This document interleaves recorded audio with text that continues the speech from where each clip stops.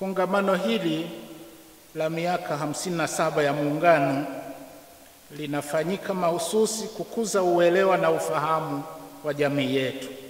Kuhusu Muungano, lakini pamoja na kuenzi mambo yote muhimu yaliyo waliofanya waasisi wa taifa letu, ikiwemo kujenga uzalendo kupitia dhana ya Muungano na kuyatambua mafanikio yote yaliyopatikana kutokana na muungano huu katika nyanja mbalimbali.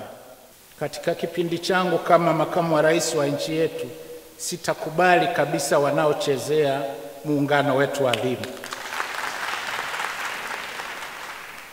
Kuna baadhi ya mambo huwa watu wanasema mimi ni mpole, lakini kuna vitu wanasema mimi sio mpole.